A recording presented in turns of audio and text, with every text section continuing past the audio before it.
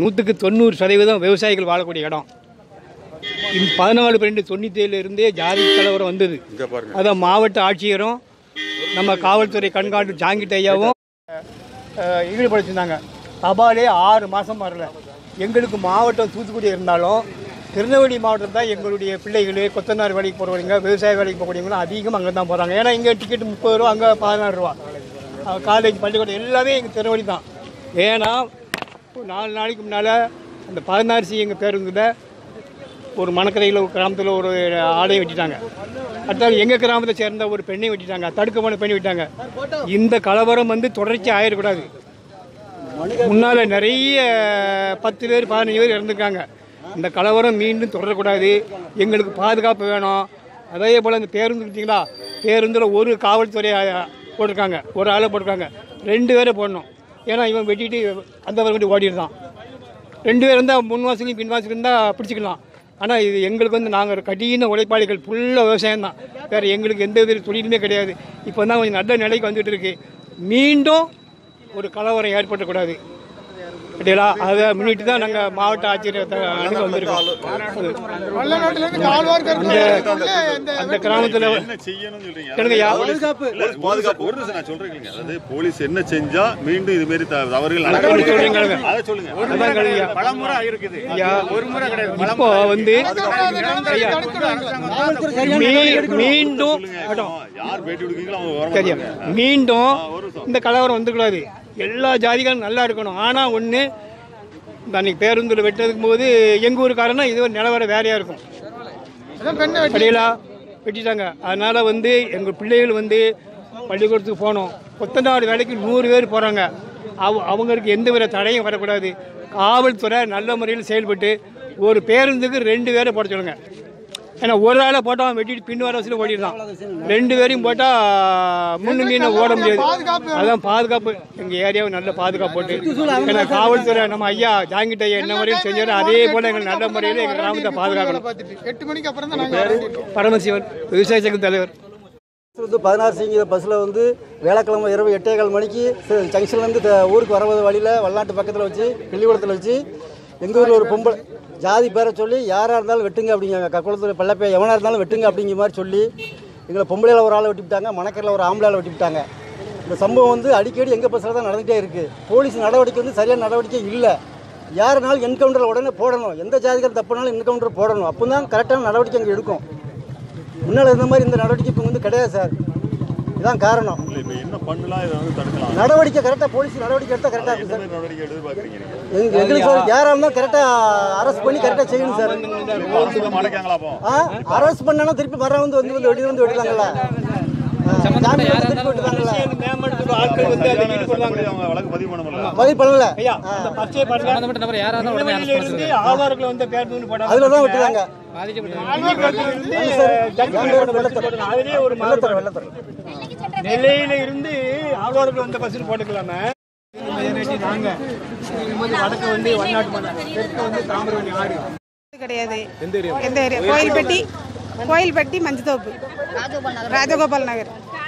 அது ம- ரோடு கிடையாது. தண்ணி வசதி கிடையாது. வாய்க்கால் வசதி கிடையாது. முப்பது வருஷம் நாங்கள் அதில் தான் இருக்கோம். தெரு லைட்டு கிடையாது. தெரு லைட்டு கிடையாது. பட்டா கிடையாது. நாங்களும் எழுதி எழுதி கொடுத்தோம் பார்க்கோம். ஒன்றும் நடக்க மாட்டேங்கி நீங்கள் அதனால ஏதாச்சும் ஒரு முயற்சி பண்ணி எங்களுக்கு செஞ்சு கொடுங்க. நாங்கள் அலைஞ்சு அலைஞ்சு நாலு அஞ்சு பேரும் வந்துட்டோம். கலெக்டர் ஆஃபீஸுக்கு அஞ்சு பேரும் வந்துட்டோம். கலெக்டர் ஆஃபீஸ்லேயும் ஒன்றும் கேட்டப்பெல்லாம் இல்லை. அங்கே தூத்து கோயில்பட்டியில் எழுதி எழுதி கொடுக்க ஒன்றும் வர மாட்டேங்குது. எல்லாம் நாங்கள் போயிட்டு போயிட்டு நாங்கள் வேலையும் ஜோலியும் கெடுத்து அலைஞ்சு தான் மிச்சம். இந்த ரோடை பார்த்துக்குங்க. இந்த ரோடு நாங்கள் இந்த ரோட்டில் தான் எங்கள் பிள்ளைய பள்ளியெடுத்து போயிட்டு வருது. இந்த ரோட்டில் தான் வண்டி வருது கீழே தான் உளுந்து உளுந்து. கழுத்து போயிருது. சரியா? ரோடு இதான். எங்கள் ரோடுகள் இப்படி தான் இருக்குது எங்கள் ரோட்டில் நாங்கள் எப்போ பார்த்தாலும் ஆளுங்க விழுந்து விழுந்து மண்டை உடஞ்சு ஆஸ்பத்திரி தான் போய்கிட்டு இருக்கோம். எப்போ பார்த்தாலும் அதான். அங்கே க ஒரே பில்லு இல்லுலாம் கொசு. ஒன்று மனு கொடுத்துருக்கு. அஞ்சு தேரம் வந்தாச்சு இங்கேயே. போன வாரம் அங்கே கோயில்பட்டிக்கு போயிட்டு வந்தோம். அது மனுவும் கொடுத்துருக்கு. யாருமே கண்டுக்கிற மாட்டேங்க. இந்த வாரங்க வர மாட்டேங்க. தூத்துக்குடி மாவட்டம் சிறுவைகுண்டம் தாலுகாவில் இருந்து நாங்கள் இப்போ மனு கொடுக்க வந்திருக்கோம். என்னென்னா தூத்துக்குடி மாவட்டத்தில் சிறுவைகுண்டம் தாலுகாவில் தாமிரபரணி ஆற்று படுகையில் மணல் கொள்ளையர்களால் மிகப்பெரிய அளவில் கனிம வளங்கள் கொள்ளையடிக்கப்பட்டுக்கிட்டு இருக்கு. இதில் குறிப்பாக திருப்பளையங்குடி பராக்கிரம பாண்டி பேரூர் சிவராமங்கலம் வரதராஜபுரம் பொட்டல் ஆகிய கிராமங்களில் அதிகப்படியான ஆற்றுப்படுகையில் ஆற்று மணல்கள் இருக்குது இது நஞ்சை நிலங்களில் அதிகப்படியாக ரெண்டு அடிக்கு கீழே ந- ஆற்று மணல் தான் தனியாக இருக்குது இந்த ஆற்று மணல் அல்லதுக்கு சிறுவைகுண்டம் தாசில்தார் சந்திரன் என்பவர் ம- மிகுந்த அக்கறை கொண்டு எல்லா மணல் கொள்ளையர்களோட உடந்தையோட சவுடுமணிங்கிற பெயரில் ஆற்று மணலை தனியாக ஆற்று மணலை பல ஆண்டுகள் இப்போ ரெண்டு ஆண்டுகளமாக தொடர்ச்சியாக கனிம வளங்களை எல்லாம் கொள்ளையடிச்சுக்கிட்டு இருக்காரு. இதுக்கு மூல காரணமே சிறுவைகுண்டத்தில் இருக்க தாசில்தார் தான் இதுக்கு முதல் காரணம். இது யாருன்னா தூ- தூத்துக்குடியில் துப்பாக்கி சூட்டுக்கு காரணமான இவர் தான் இவர் இந்த தாசில்தார் தான் இந்த தாசில்தார் தொடர்ந்து சிறுவைகுண்டம் பகுதியை அழிச்சே திறனும் கங்கணம் கட்டிக்கிட்டு இருக்காரு. இதுபோல் ம- அவருடைய ம- முக்- முக்கிய நெருங்கிய நண்பர்கள் என்ன யாருன்னான்னு பார்த்தா அனைவருமே மணல் கொள்ளையர்களாக தான் இருக்காங்க. தினமும் ஆஃபீஸை முடிச்சுட்டு அந்த மணல் கொள்ளையர்கள்ட்ட தான் அவர் மீட்டிங் போட்டு பேசுகிறார் தூத்துக்குடி அழிச்சிட்டு இப்போ சிறுகுண்ட தாலுகாவை அழிக்கிறதுக்காக அந்த சந்திரன் புதுசாக வந்து வந்து ஜாயின் பண்ணியிருக்கிறார். இது வந்து தொடர்ச்சி அங்கே நடந்துக்கிட்டு இருக்கு. நாங்கள் ஏகப்பட்ட மனுக்கள் வந்து அவர் பேரை கொடுத்தோம். எந்த விதமான நடவடிக்கையும் இந்த ஆளுங்கட்சி செய்ய மாட்டேங்குது. ஆளுங்கட்சி ஆளுங்கட்சியில் எம்எல்ஏவும் இதுக்கு உடந்தையாக இருக்கார். தொடர்ச்சியாக அந்த பகுதி அழிஞ்சிக்கிட்டு இருக்கு. காரணம் வந்து திருவண்டத்தை தாசில்தார் சந்திரன் தான் இதுக்கு காரணம். இந்த விவசாய நிலங்களில் தொடர்ச்சியாக திருச்செந்தூர் கோயிலுக்கு உட்பட்ட விவசாய நிலங்கள்லேயே மண்ணளவுக்கு திட்டம் போடுறாங்க. நிறைய இடங்களில் கனிமளவம் கொள்ளடிக்கப்பட்டிருக்கு. இந்த ஆட்சியர்கள் யாருமே இதை கண்டுக்கிட மாட்டாங்க. இந்த நாங்கள் விவசாயிகள் ஒரு நூறு பேர் வந்திருக்கிறோம். மனு கொடுக்குறோம். இதை உடனே இதை வந்து தடுத்து நிறுத்தி இந்த விவசாயிகளை காப்பாற்றணும்னு சொல்லி இந்த அரசு அதிகாரிகளை நாங்கள் வேண்டி கேட்டுக்கொள்கிறோம். எங்கள் எங்கள் தெருவில் மட்டும் மொத்தம் எழுபத்தஞ்சு குடும்பங்கள் இருக்கு.